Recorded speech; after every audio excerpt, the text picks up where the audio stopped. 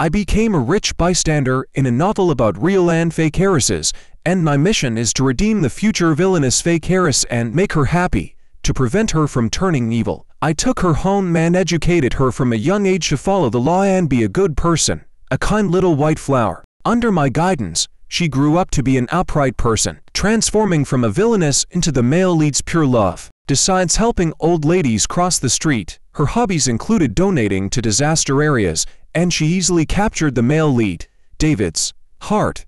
Just when I thought she was going to marry the male lead and achieve happiness, the real heiress confessed her love to me, and then the fake heiress turned evil. Brother, if you choose someone else, I will have to lock you up so no one can see you.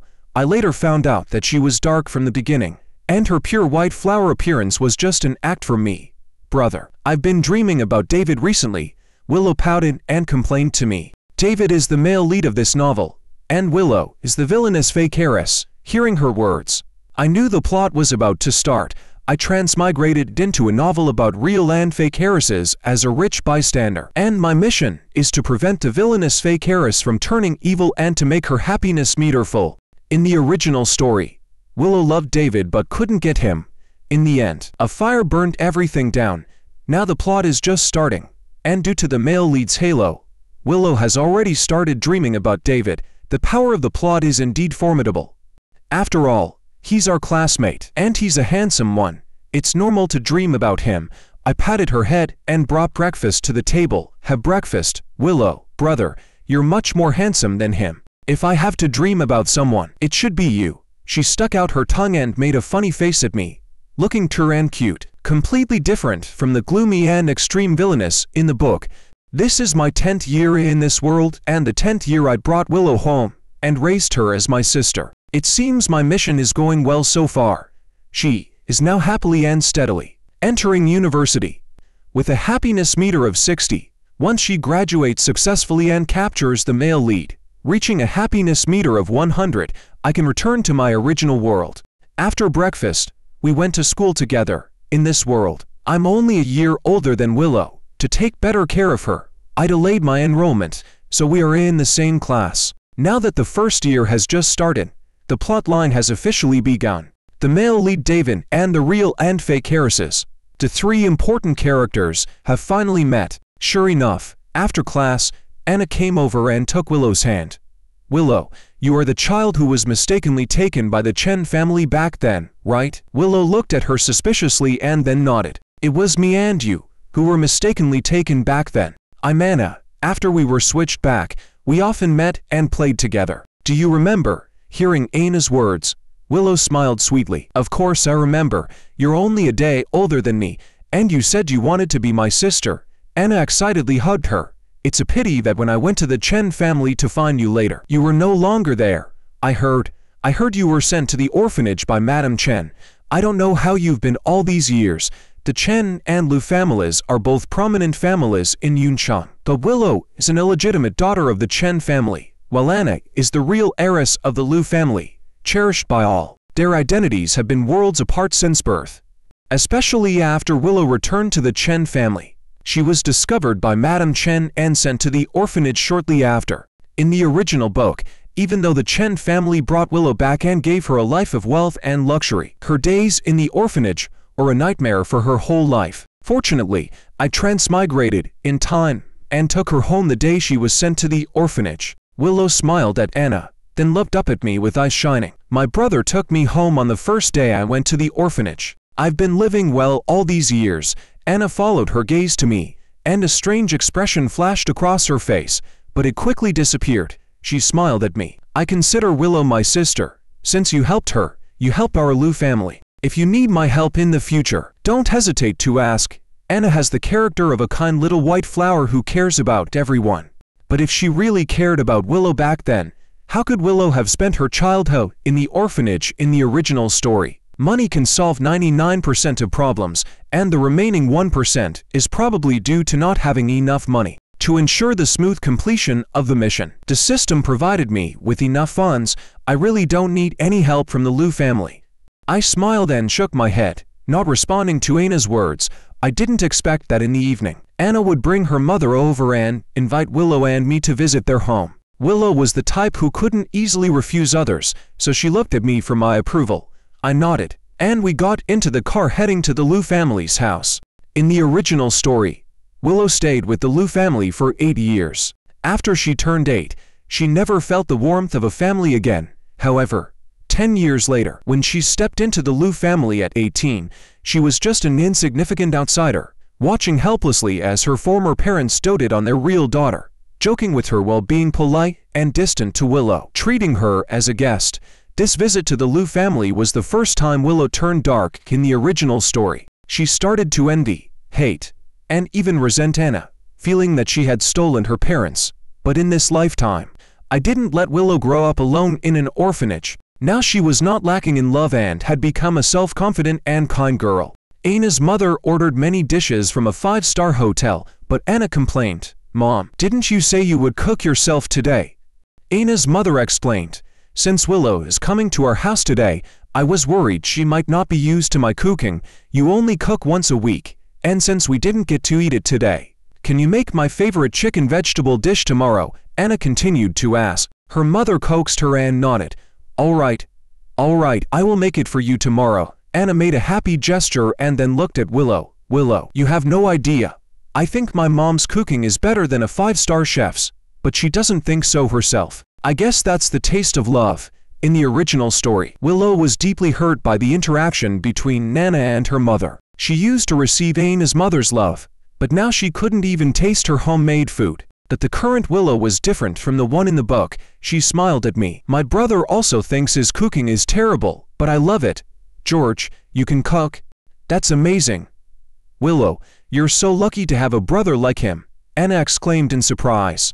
Willow nodded happily. Yes, my brother has been cooking for me since I was little. His food is the best. In my previous life, as a low-wage worker, expensive takeout wasn't cost-effective, and cheap ones worried me about food safety, so I always cooked for myself. After coming here, I tried hiring a few nannies for Willow, but she didn't like any of them, so I ended up cooking for her myself.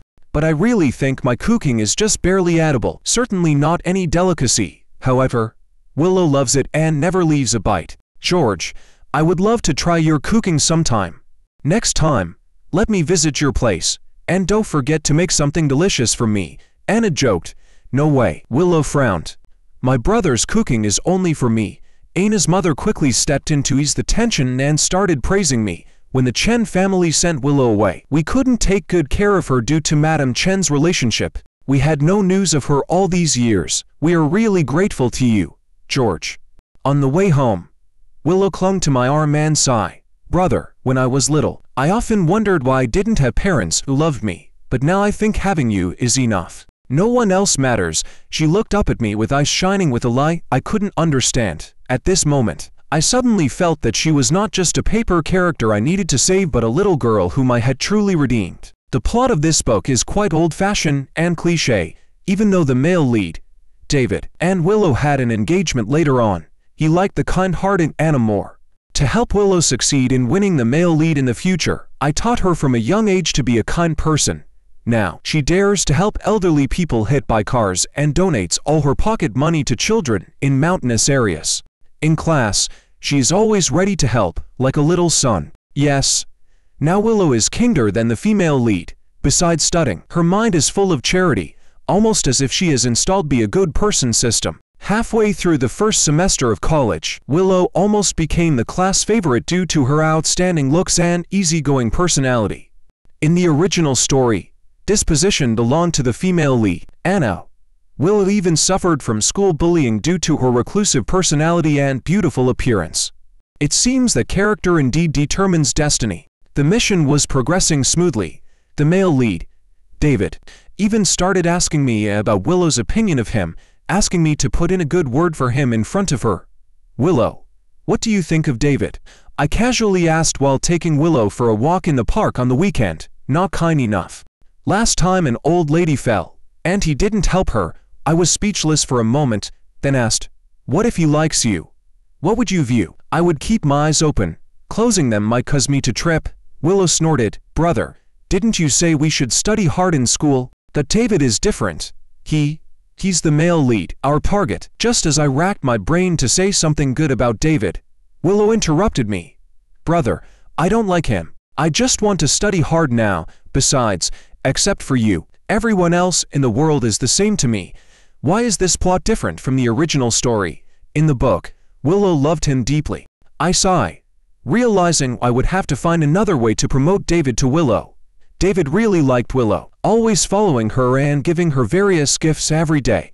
I told David that Willow thought he wasn't kind enough for not helping a fallen old lady, so he helped a hundred old men that day and got scanned for 88,000.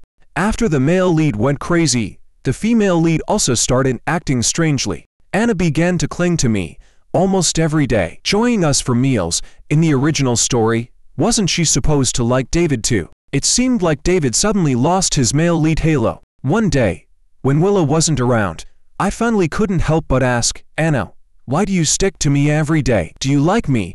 I didn't expect her to nod seriously. Yes, as she spoke, she grabbed my hand. Why don't we be together? At that moment, I saw Willow approaching from the corner of my eye. I quickly withdrew my hand and took two steps back. Brother. Anna, what were you two doing behind my back? Willow asked as she walked over. Nothing.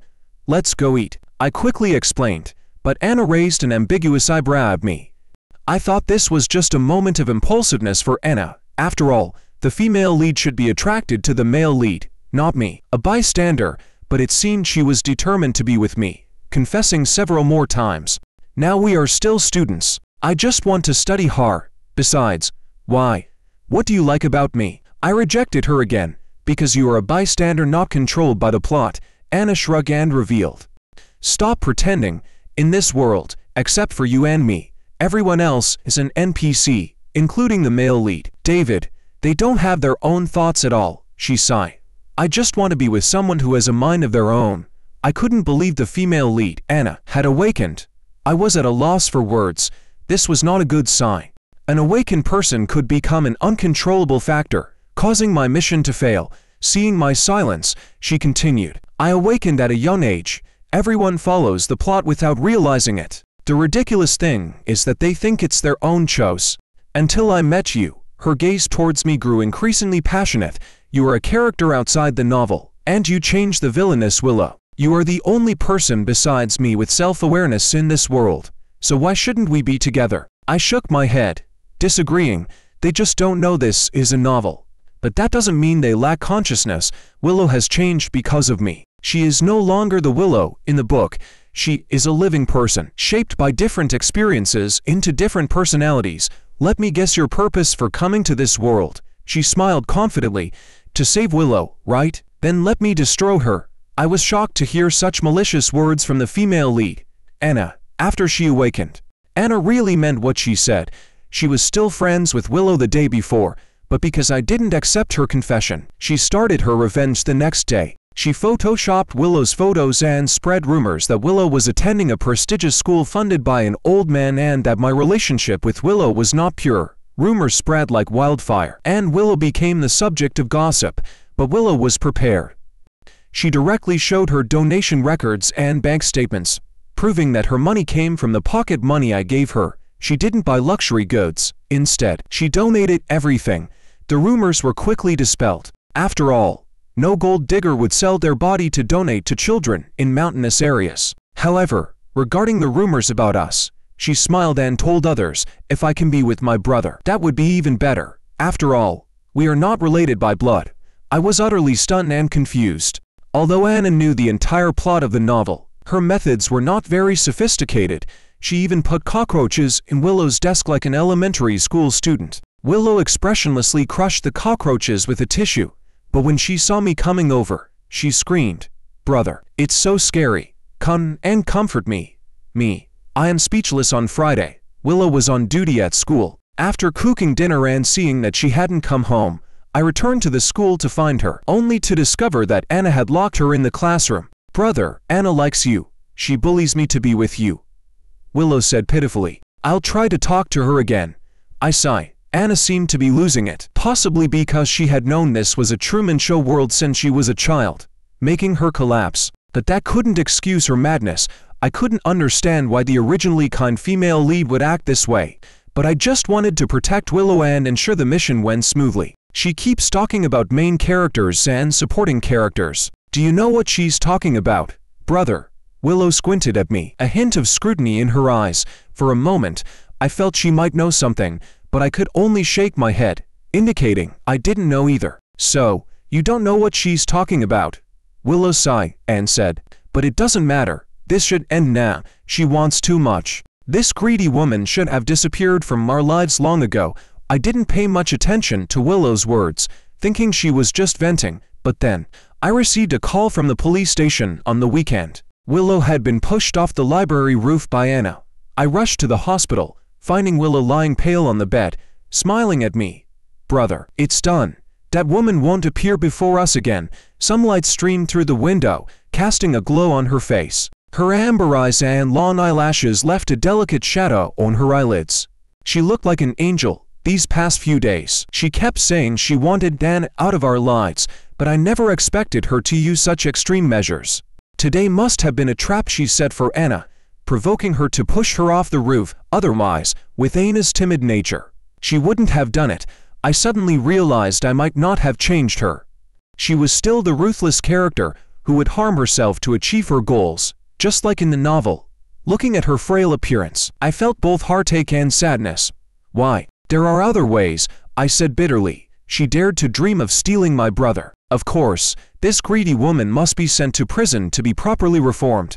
Willow smiled sweetly at me, then comforted me. Brother, it's okay. It's just the fourth floor, a minor fracture. Can you promise not to hurt yourself anymore? I suddenly thought of the original ending, where she threw herself and David into the fire to F him entirely. This was the girl I had raised myself.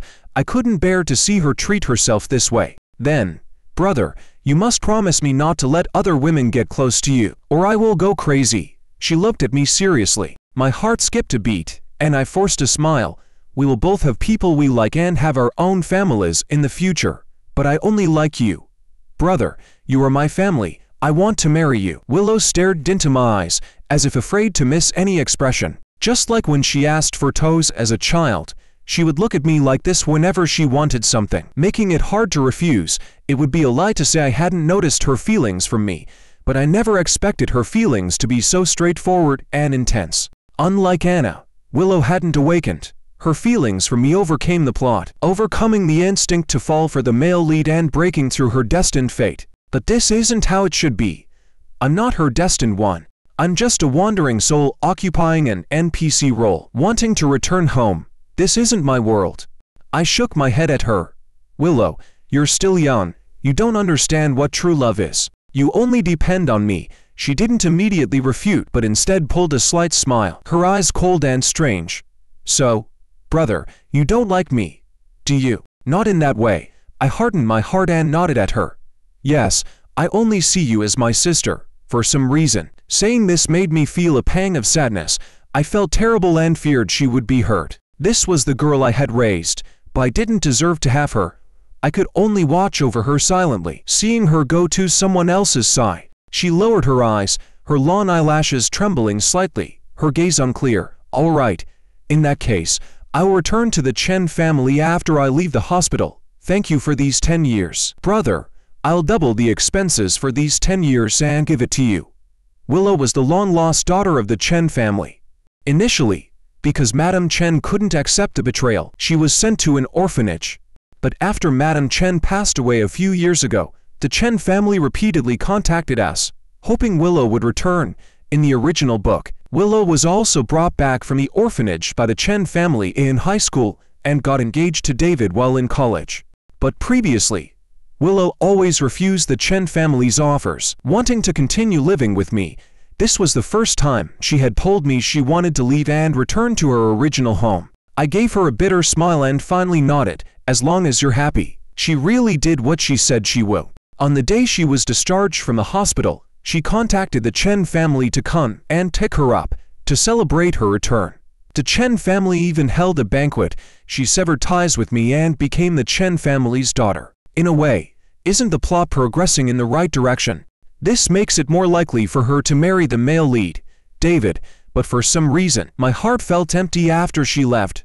Willow seemed deeply hurt by me. After giving me a large sum of money, She blocked all my contact information and treated me like a stranger at school. Walking past me without a glance, Anna was sentenced to 10 years in prison, and the Liu family also fell into decline. Originally, the Chen, Ling, and Liu families were in a tripartite balance.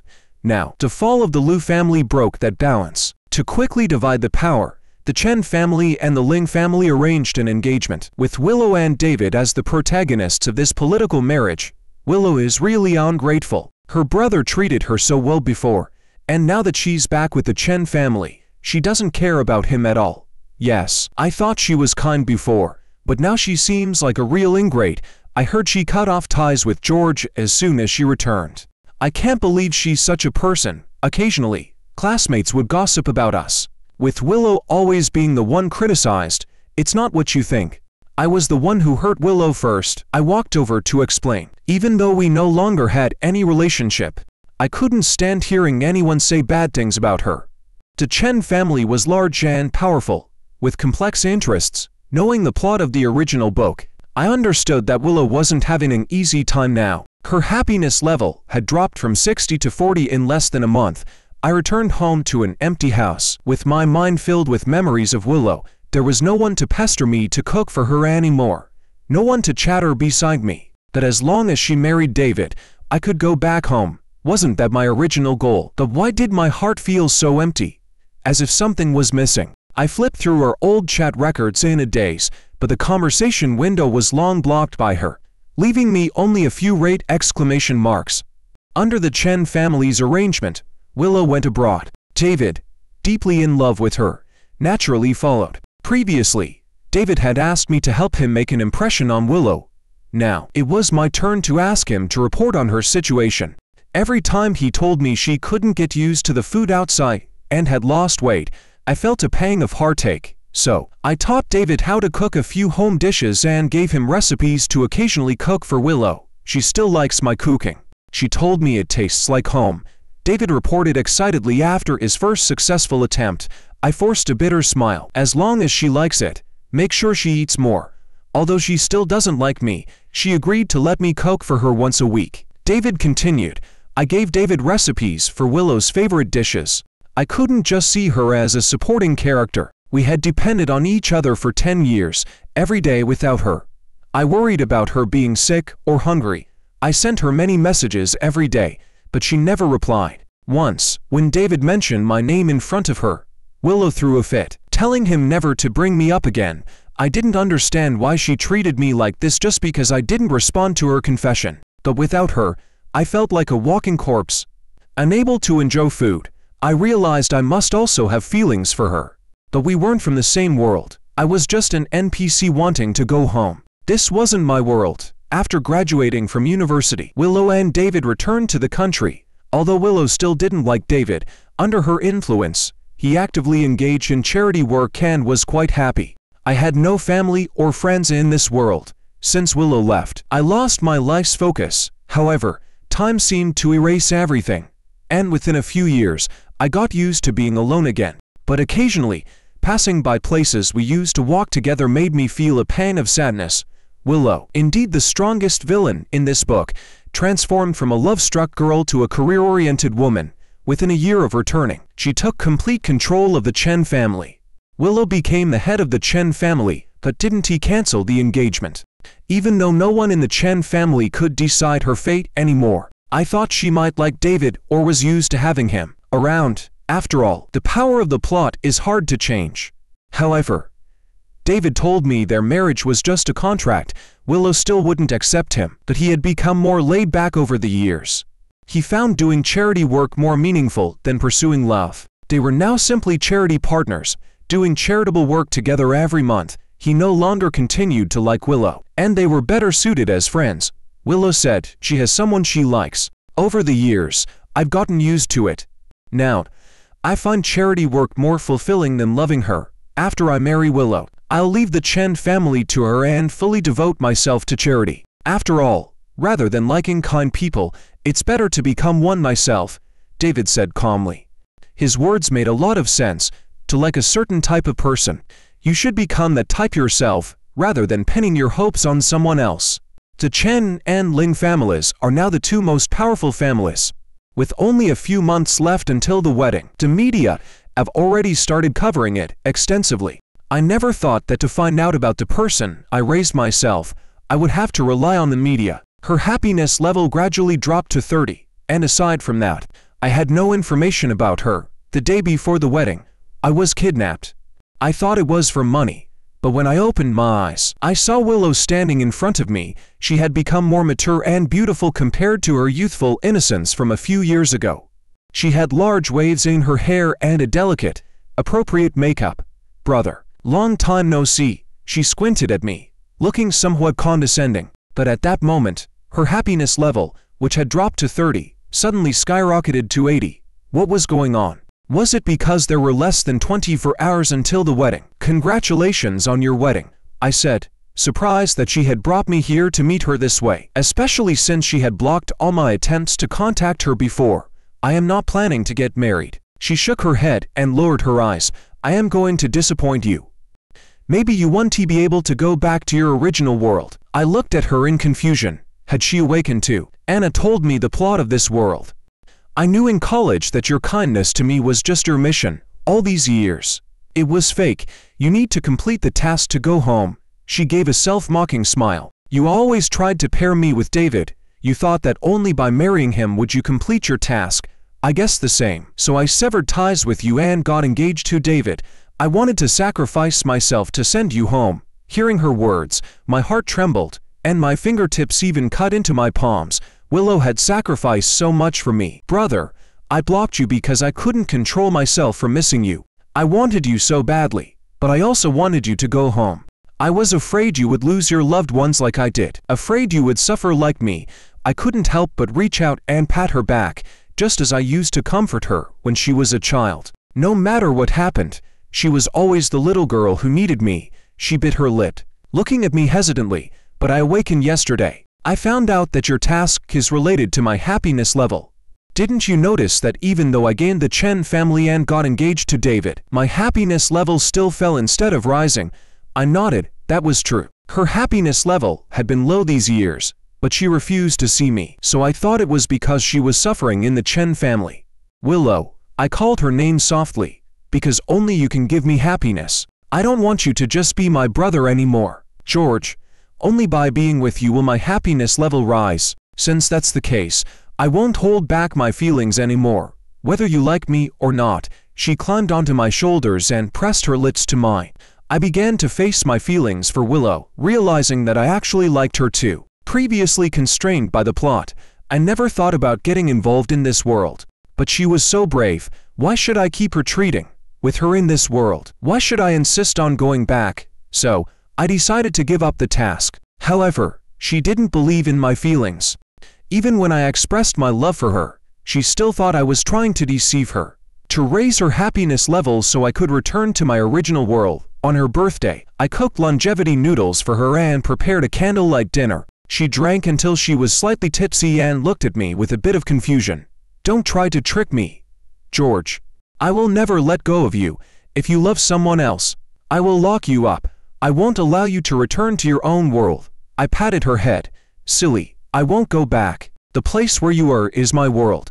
I didn't know if it was because she had been abandoned as a child. The Willow had no sense of security. Her happiness level rose to 99 but never moved again. I think she still didn't believe I would stay in this world with her, deliberately holding back that one point of happiness to prevent me from completing the task. All I wanted was to treat her well and make up for the lost years.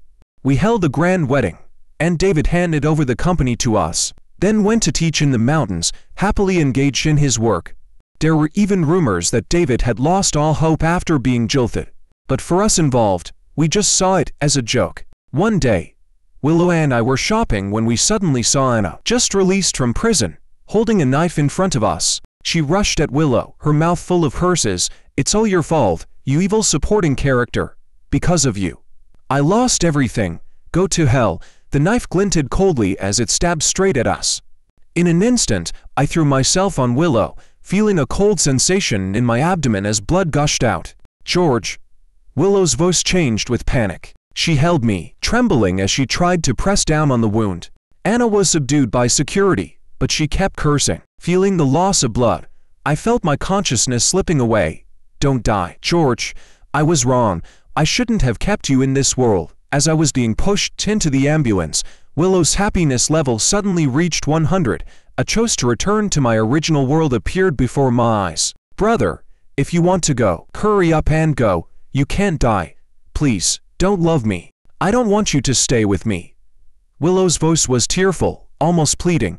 I knew she was afraid I would die, forcing herself to reach 100 happiness to let me go while I still had a breath left. But if I chose to go back, would I never see her again? I didn't know if this body could survive in this world, but if I went back, I would lose her forever. I decided to gamble and gave up the option to return. Either die or live and stay with her. I couldn't accept a world without Willow. It would be better to die. With that thought, I lost consciousness. When I woke up, I saw Willow sitting by the bed with swollen eyes. George, are you an idiot? As she spoke, tears streamed down her face again. I raised my hand two wipe the tears from her cheek. Why are you crying? If that knife had gone to centimeters deeper, you wouldn't have survived. She held my hand. Why didn't you go back? You could have at that time. I interrupted her. A world without you is no different from being dead. Her eyes were red. Looking at me like a wronged little rabbit, now do you believe I really love you? I'm not going back. I intertwined my fingers with hers. She nodded and then gently kissed my cheek. George, I love you. I love you too. You are my whole world. Even if I give up everything, I will never give up on you.